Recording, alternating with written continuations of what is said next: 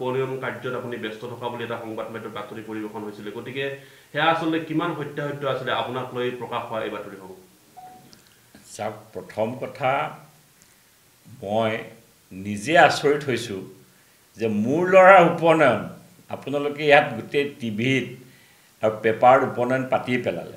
উপনয়নৰ ডাঙৰ কেইবাজন এজন বিধায়কে উপনয়নৰ ডেষ্টিনেশ্যন উপনয়নৰ ব্যাখ্যাও দিলে। আৰু লগতে ষাঠিজন মানুহক ফ্লাইটত লৈ গৈ চাৰ্টাৰ্ড ফ্লাইটত লৈ গৈ পঞ্চতাৰকা হোটেলত ৰখাই আৰু তাকো কিহৰ উদ্দেশ্যটো কি? উপনয়ন। আৰু পাতিছে ক'ত? পাটায়াত।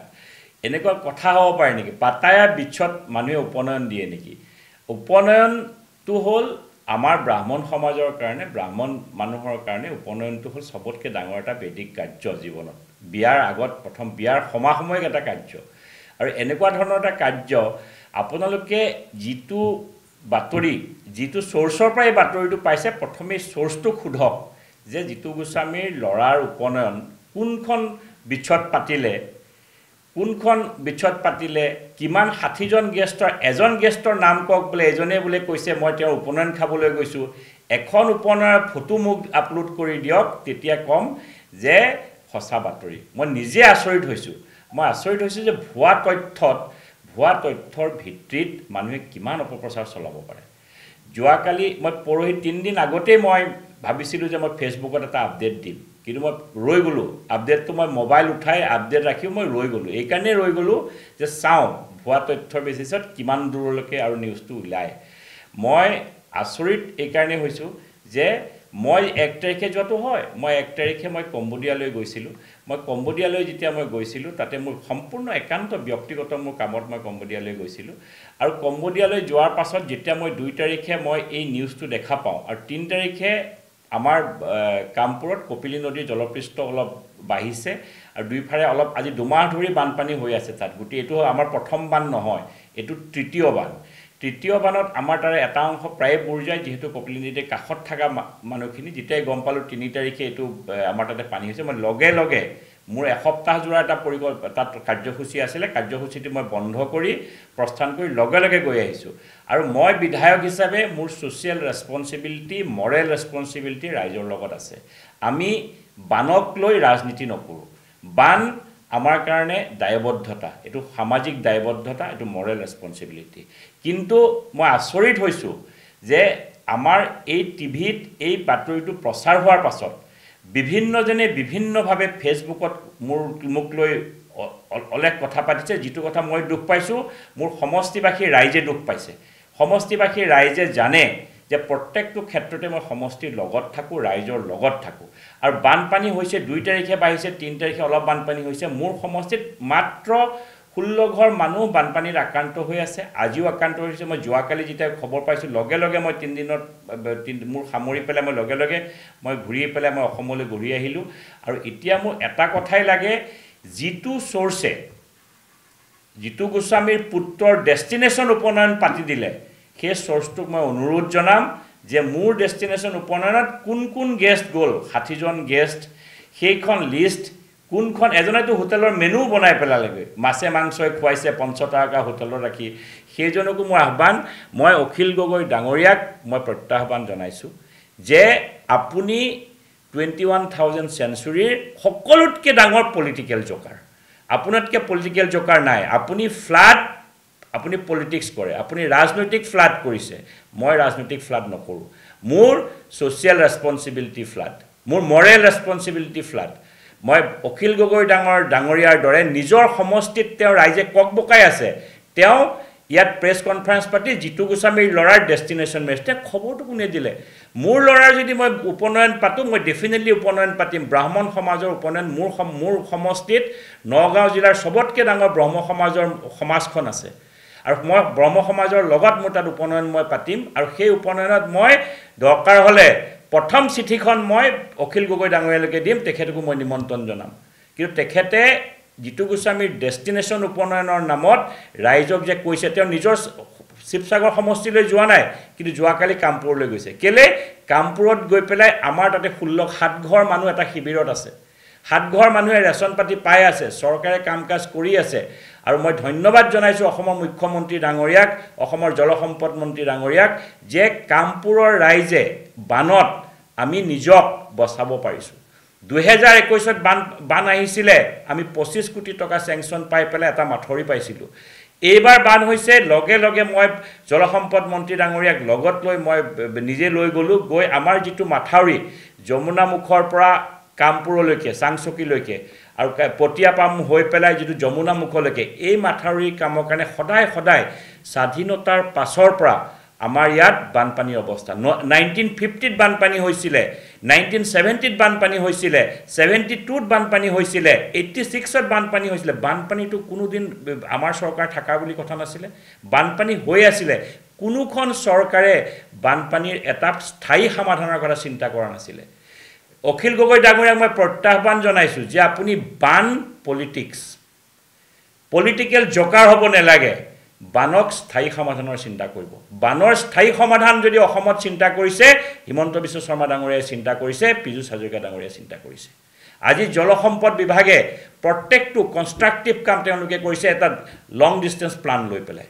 তেওঁলোকে দীৰ্ঘম্যাদী প্লানত তেওঁলোকে কাম কৰিছে। আজি স্বাধীনতাৰ পাছত কামপুৰৰ ৰাইজে সদায় জীয়াতু ভুগিবলগীয়া হৈছিলে। আজি এটা স্থায়ী সমাধান হৈছে। কপিলীৰ দুই কাষে এটা প্ৰটেকশ্যনৰ কাৰণে প্লান হৈছিলে। অলৰেডি আমি তাতে সাত কিলোমিটাৰ চাৰে সাত কিলোমিটাৰ প্ৰটেকশ্যন চেংচন দিছে। মই মুখ্যমন্ত্ৰী ডাঙৰীয়াক অনুৰোধ কৰি আৰু এঘাৰ কিলোমিটাৰ প্ৰটেকশ্যনৰ মই চেংচন লৈছোঁ যিটো কামপুৰবাসী ৰাইজৰ কাৰণে ব্ৰহ্মপুৰবাসী ৰাইজৰ কাৰণে অলিক সপোন আছিলে।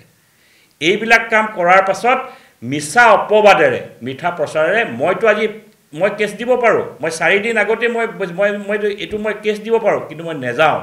কেছ এইকাৰণেই নিদিওঁ কাৰণ যিটো তথ্যৰ পৰা যিজনে এই তথ্য দিছিলে যে জিতু গোস্বামীৰ ল'ৰাৰ উপনয়ন পাতায়াত পাতিছে সেই তথ্য দিয়া ব্যক্তিজনক আপোনালোকে বিচাৰক। কাৰণ এইটো অকল জিতু গোস্বামীয়ে শান্তিত নহয় কাৰণ ৰাজনীতিত থকা মানুহে যিকোনো কথাই ক'ব কিন্তু আপোনালোকে মিডিয়াত বিনা তথ্যত এইচব বাতৰি প্ৰচাৰ নকৰিব। মই এটাই আপোনালোকৰ প্ৰতি অনুৰোধ যে মিছা তথ্য হ'লে আপোনালোকে তথ্যটো বিচাৰি পেলাই সঁচা তথ্যত দিব। আপোনালোকে প্ৰচাৰ কৰাৰ কাৰণে বাকী চেনেলখিনিও দুদিন চাৰিটা চেনেলে প্ৰচাৰ কৰিছে যে ডেষ্টিনেশ্যন উপনয়ন বহুতেতো একদম ফটোৱে দিছে মেনুলৈকে গ'ল। কোনখন ফাইভ ষ্টাৰত আছিলে মই সেইখনো দিব লাগে নামটো। তেওঁলোকে এতিয়া সেইকাৰণে মই আপোনালোকক ক'লোঁ যে এই মিছা তথ্য আৰু প্ৰচাৰ নকৰিব অসমৰ ৰাইজক আজি বানৰ কবলত প্ৰত্যেকজন ৰাইজক আমাৰ প্ৰয়োজন আছে যে প্ৰত্যেকে গৈ পেলাই কষ্টত থকা মানুহকেইজনক এষাৰ মাত মাতা দুই এটা সৰু সম্পদ দি পেলাই টেম্পৰৰীকে তেওঁক সহায় কৰা আৰু স্থায়ী বানৰ সমাধান কৰাৰ চিন্তা চৰ্চা কৰিব লাগে। আজি সেই চিন্তা চৰ্চা এতিয়া নকৰি বানক লৈ ৰাজনীতি কৰিছে। শিৱসাগৰলৈ যোৱা মানুহজন শিৱসাগৰ নিজৰ সমষ্টিত তেওঁৰ বান বানৰ চিন্তা কৰক। তেওঁ গৈ পেলাই কামপুৰত গৈ বানৰ চেষ্টা কৰি ৰাইজক কৈ আভুৱা ভাবিবলৈ কি কাৰণে গৈছে যে তেওঁ পলিটিকেল টুৱেণ্টি ওৱান থাউজেণ্ড চেঞ্চুৰীৰ চবতকৈ ডাঙৰ পলিটিকেল জকাৰ আৰু তেওঁ এইকাৰণেই গৈছে যে কামপুৰত গৈছে কাৰণ বিধায়কজন থাইলেণ্ডত আছে বুলি গম পাইছে তেওঁ। তেওঁ ভাবিছে যে তেওঁৰ চ'ৰ্চটোতো এইটোৱে মই থাইলেণ্ডত বিধায়ক আছে যেতিয়া আজি গৈ পেলাই মই কামপুৰত গৈ এক্টিং কৰোঁ। ধন্যবাদ যে আপোনালোকে এইখিনি কৰিছে আৰু মই আজি এটা কথাই আপোনালোকৰ জৰিয়তে মই জনাব বিচাৰিছোঁ যে মোৰ সমষ্টিৰ ৰাইজ এইবাৰ খুব সুখত আছে। পীযুষ হাজৰিকা ডাঙৰীয়াৰ জন্মদিন পালন কৰিছে কাৰণ তাক কিছুদিন আগত তেওঁ গৈ পেলাই মাথাউৰি চেংচন দিছিলে। তাতকৈ আৰু বানপীড়িত ৰাইজৰ উৎফুল্লিত ক'ত হ'ব পাৰে? আপোনালোকেতো দুই এটা নিউজত দুই এজনক সদায় আপোনালোকে পায় আমাৰ তাতো মোৰ সমষ্টিটো কামপুৰতো দুই এজন দেখিছোঁ মই সেইকেইজন সদায় ৰেডিমেড থাকে। কেমেৰা আহিলে তেওঁলোকে যিটো কয় এজনেতো কৈছে আশী পাৰ্চেণ্ট বানেই হ'ল তেওঁ ব্ৰহ্মপুৰ সমষ্টিৰ জিঅ'গ্ৰাফী বুজি নাপায়। কোনটো জিঅ'গ্ৰাফী ব্ৰহ্মপুৰ সমষ্টিখন কিমান ডাঙৰ সমষ্টি? মোৰ সমষ্টিত মাত্ৰ ষোল্ল ঘৰ বানত মানুহ বানত আক্ৰান্ত হৈছে আৰু সাত ঘৰ মানুহ ৰিলিফ কেম্পত আছে। কিয় কৰিছে আপুনি তাতে বুজি পাব কোনে লক্ষ্য কৰিছে চাৰিদিন এই যোৱা চাৰিদিনত দুই তাৰিখৰ পৰা এই পাঁচ তাৰিখলৈ এই চাৰিটা দিনত অসমত প্ৰচাৰ মাধ্যমত এনেকুৱা অপপ্ৰচাৰ ফেচবুকত এনেকুৱা অপপ্ৰচাৰ কিয় কৰিছে তেওঁলোকে জানে? মইতোতো আচৰিত হৈছোঁ যে নাপায় নেকি? কি কাৰোবাৰ কি কোনোবা এম এল এ বিধায়ক কি বাহিৰলৈ নাযায় নেকি? মই এক তাৰিখে বাহিৰলৈ গৈছিলোঁ সেইদিনাতো বানপানী নাছিলে। তিনি তাৰিখে শুনাৰ লগে লগে মই আধাতে ছুটি আধাতে মই শেষ কৰি পেলাই মই গুচি আহিলোঁ। আৰু মুখ্যমন্ত্ৰী ডাঙৰীয়াৰ নিৰ্দেশ আছে যে প্ৰত্যেকজন বিধায়ক আমাৰ ছ'চিয়েল ৰেছপনচিবিলিটি আছে মৰেল ৰেছপনচিবিলিটি আছে বিধায়ক ৰাইজৰ কাষত দুৰ্গতৰ কাষত থকাটো। আৰু মই সেইকাৰণে গুচি আহিছোঁ মোৰ সমষ্টিবাসীৰ লগত সম্পূৰ্ণ মই সেইকেইটা দিনো কথা পাতিছোঁ মোৰ প্ৰত্যেকজন মোৰ কৰ্মী আমাৰ সহকৰ্মীয়ে কাম কৰি আছে ৰাইজৰ লগত। ৰাইজক ৰিলিফ দি আছে তাত মোৰ মণ্ডল সভাপতি আছে আমাৰ জিলা সভাপতি আছে। আৰু প্ৰত্যেকজন কাৰ্যকৰ্তাই তাত কাম কৰি আছে। মোৰ নিজৰ ব্যক্তিগত সচিব পৰ্যন্ত মানুহ তাত কামত লাগি আছে। ইমানৰ পাছত মই এটাই কথা ক'ম যে ভুৱা তথ্যৰ ভিত্তিত আপোনালোকে নেযাব। কাৰণ আপোনালোকৰ বিপদ হ'ব। কাৰণ আজি এই এই ভুৱা তথ্যৰ ভিত্তিত আজি যদি মই কেছ দিবলৈ যাওঁ তো বিপদটো কাৰ হ'ব? কিন্তু মই কেছ দিব নাযাওঁ। মই কেছ দিব নাযাওঁ কাৰণ মিডিয়াৰ লগত আমি সদায় থাকিব লাগে। আমি ৰাজনীতিত থকা মানুহ মিডিয়া আমাৰ কাৰণে সদায় এটা আমাৰ লগত এটা সহবাস কৰাৰ নিচিনা কথা হয়।